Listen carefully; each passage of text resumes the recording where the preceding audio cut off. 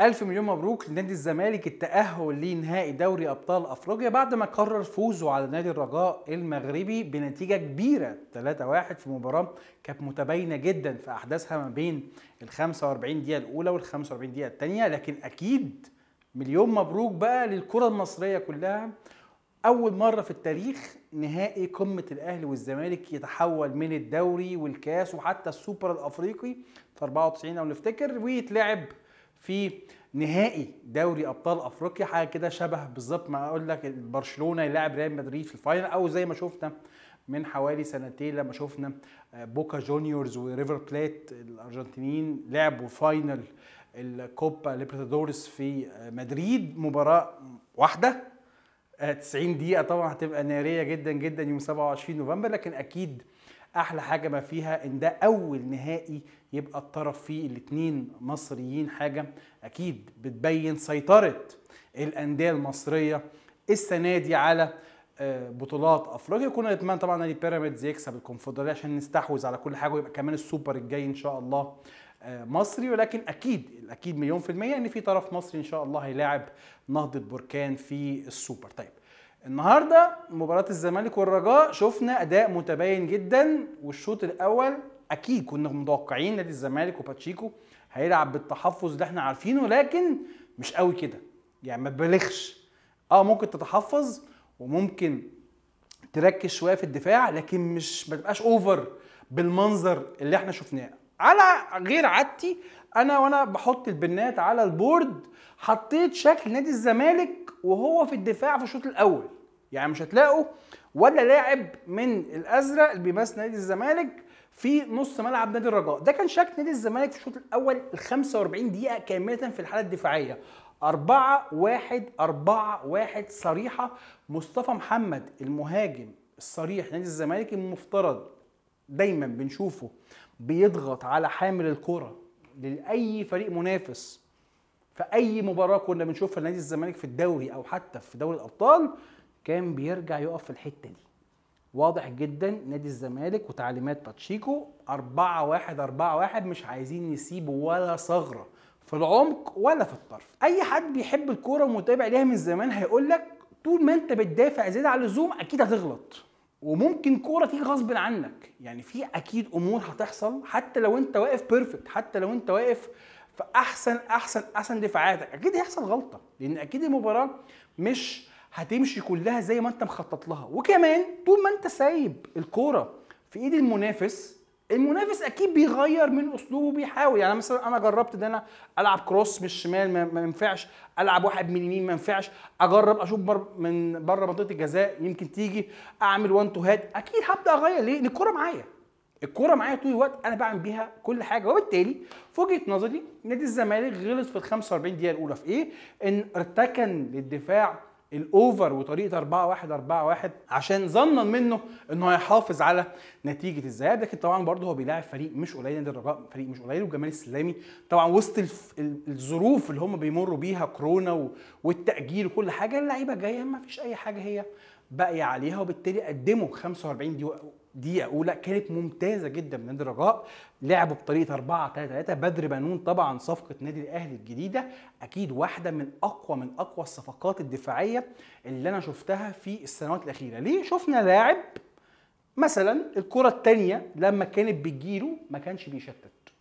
بدر بنون النهارده قدم أعتقد بطاقة اعتماده لجمهور النادي الأهلي في الرزانة في أدائه. شفنا حد ما حتة كده من عماد النحاس. لعيب بيسلم الكورة رجل في رجل بيتحرك بشكل كويس جدا بيقطع بدون فاول بيعمل tackling على الأرض بدون فاول وعمل بعض الألعاب الدفاعية في الشوط الأول بشكل جيد جدا لكن واضح جدا طبعا الشوط الثاني كان في انهيار بدني تماما عند الفريق المغربي. ولكن أرجع لتحليل الشوط الأول خصوصا من بدر بنون اللي هو كان نادي الرجاء بيعتمد عليه في ال building up بتاعه وبنى الهجمة. بدر بنون واخد يا جماعة المساحة دي كلها لوحده.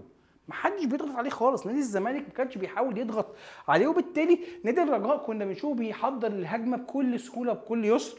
وطبعا أهم لاعب اللي إحنا بنتكلم عليه دايما محسن متولي. محسن متولي العقل المدبر للفريق ما كانش فيه معاه أي man to man دي كانت برده واحدة من أخطاء باتشيكو. ما ينفعش تسيب محسن متولي ما بين من غير ما تخليه لاعب يمسكه. لمحسن متولي once إن هو استلم الكورة وجري بوشه أعرف إن في مشكلة عليك في خطورة. ده العقل المدبر للفريق وصانع ألعاب الفريق. فما ينفعش تسيبه بالحرية دي. طبعا محسن متولي شفناه في الشوط الأول عمل كل حاجة في الكورة وزع الكرات على الأطراف اخترق من العمق وعمل وانتوهات كتيرة. حتى ليه كورة كانت خطرة جدا جدا جدا من على مشارف منطقة الجزاء وقدر يوصل زمايله للدرجة اللي شفنا فيها نادي الرجاء 8 لعيبة في نص ملعب نادي الزمالك. كان شكل غريب جدا. الزمالك كل ده لسه محتفظ ب آه، العمق بتاعه وطريقة 4 1 4 1 نادي الزمالك كان بيسترد الكورة عشان يعمل هجمة مرتدة. كانوا بس اتنين اللي بيحاولوا يجروا أو ثلاث لعيبة زيزو ومصطفى محمد وبن شرقي. لكن طبعا كان عندهم كارثة كبيرة جدا. اللعيبة بعيدة جدا جدا عن بعض. كل واحد هنا في الطرف مصطفى محمد في العمق زيزو واخد الطرف التاني. فالمساحة بعيدة جدا. إيه اللي هيحصل؟ أول ما اللعيب ده هيبدأ ياخد الكورة ويخش بيها نص ملعب نادي الرجاء هيضطر يستنى لغاية لما الفرقة كلها تبدأ تتقدم عشان يلعب الكورة ويبدأ يباصي ويلعب الكورة. كان المشكلة كانت طبعا في تعليمات إن لو أحمد عيد طار عبد الله جمعة يتأخر. عبد الله جمعة طار أحمد عيد يفضل. ليه؟ عشان أحافظ على النسق الدفاعي بتاعي والعمق الدفاعي بتاعي يعني تحسبا لأي هجمه مرتدة ممكن تحصل لنادي الرجاء عليا. الشوط الأول نادي الرجاء كان هو صاحب الفرص ووصلنا لرقم غريب جدا إنك تشوف نادي الزمالك في مصر. وهو الاستحواذ في الشوط الأول 69% لنادي الرجاء 21% نادي الزمالك. رقم كارثي رقم كارثي طبعا إنك تشوف الرقم ده. حاجة غريبة جدا في نادي الزمالك وهو بيلعب في مصر. طبعا أكيد مفيش جمهور فمش فارقة. بس برضه نادي الزمالك بصراحة ولا يحصل معاه في مصر ولا يحصل معاه بره مصر. إن يتعمل عليك استحواذ 69% من فريق ضيف عليك. صعب جدا. وبالتالي ده كان طبيعي جدا جدا جدا انه يترجم في بداية الشوط الثاني ومن كورة ما فيش فيها أي building up فيش فيها أي هجمة. هدف الرجاء اللي جه في الدقيقة 53 كانت كورة مقطوعة نادي الرجاء خلاص نزل ال 45 دقيقة الثانية ما عندوش حاجة بقى يبكي عليها تماما نزل مندفع بيضغط بطول الملعب لعيبة بدأت تضغط على مدافعين نادي الزمالك الكرة اتخطفت قدام منطقة الجزاء ومالونجو مهاجم الرجاء الضعيف جدا جدا جدا شاط كورة والسلام خبطت طبعا في آه، عبد الله جمعة وغيرت اتجاه عشان تخادع محمد أبو جبل. وهي الغلطة اللي إحنا بنتكلم عليها. طول ما انت بتدافع انت لازم تبقى عندك فكرة انك ممكن تتقبل هدف من لا شيء. ده وده اللي حصل فعلا في بداية الشوط الثاني. ولكن كان في ميزة لنادي الزمالك إن الجون ده جه في وقت مبكر.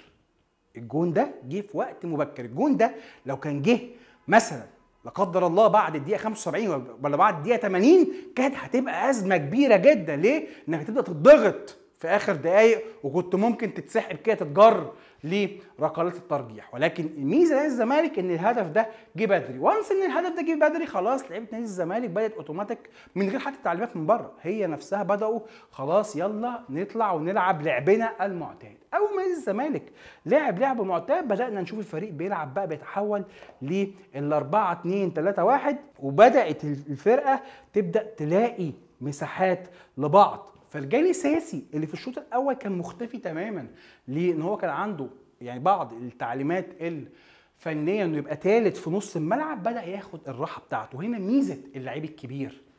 فالجالي ساسي غايب لمدة 50 دقيقة 45 دقيقة في الشوط الأول وخمس دقائق في الشوط الثاني مفيش ما شفناش في الجالي ساسي تماما.